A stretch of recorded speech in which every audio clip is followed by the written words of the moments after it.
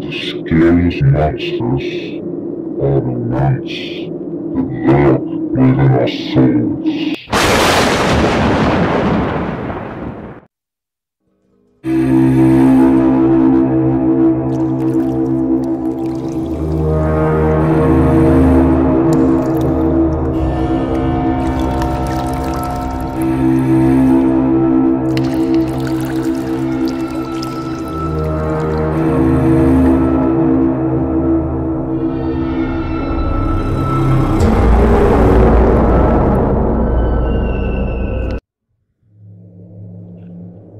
Dertig januari 1847.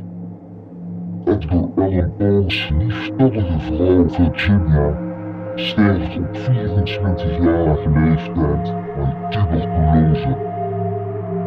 Drie dagen erna, op een ijskoude 2 februari, was ze bijgezet in het familiegraf van de familie Valentine, de verhuurders van de cottage waarin Paul zijn laatste levensjaren samen met zijn schoonmoeder Maria Clem zou verbrengen. De graftombe is gelegen op het kerkhof van de Nederduitse hervormde kerk in Velzen, New York. Als oude William Freeman Joe in 1883 de inmiddels vurige ware kerk opbezoekt, ontmoet hij de koster die op het punt staat de opgegraven overblijfselen van Virginia weg te gooien.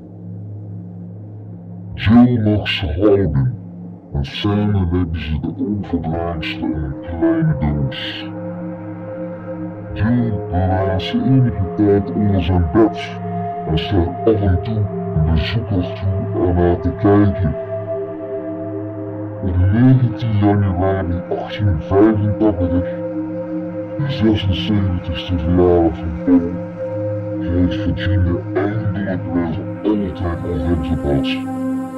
Ze wordt herbegraven in een bronzen kist, links van Edgar onder diens grafmonument op Westminster Burial Ground, Baltimore.